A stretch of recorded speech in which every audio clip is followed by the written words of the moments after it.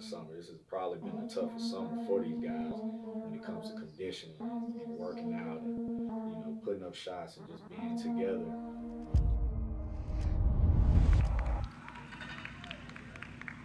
With that, like if something is heavy, you have to set it down, set it down, pick it back up, continue. All right, you can run with it. This is going to be time. All right. so then you got you got uh, 50 yard uh, sled push, so pushing, 50 yards down, 50 yards back.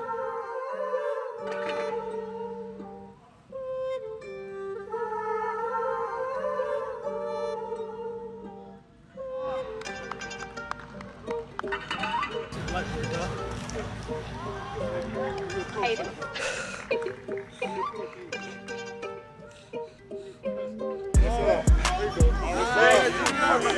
There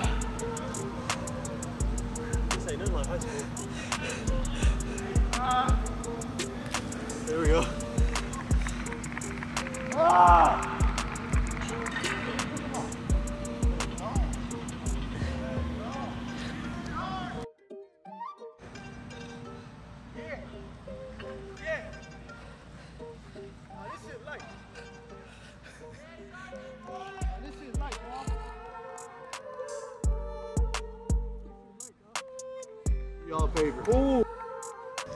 We got six minutes. You can either clean these weights up and walk back, or I'll clean them up if you guys jog it back. Uh, what you want to do? I'll clean up, dog. I'm more, baby. Uh, only the strong survive. If you can't get through that, I don't know what to tell you. No OVC championship, no national championship, none of that. Only, only the bodybuilder survived. Yeah, yeah, most definitely. What we just did. We just got it in. We was a little tough, but then again, man. Oh, man, look. I got a quote for y'all. Hey, every day is a gift. That's why they call it the present. So I'm living for today, because I'm living in the present, because today is a gift. A gift for me to get better. We're in the trenches. We're in the trenches, dog. You already know how we do. got you put in place to when you get tested, are you gonna pass these tests? Are you gonna but at the same time ain't nobody asking you to be perfect. You know what I mean? Black one. Appreciate it.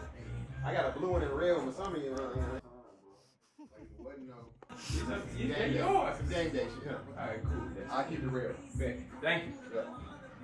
Hey, what will we do for shirts? Them uh, deserve to win shirts.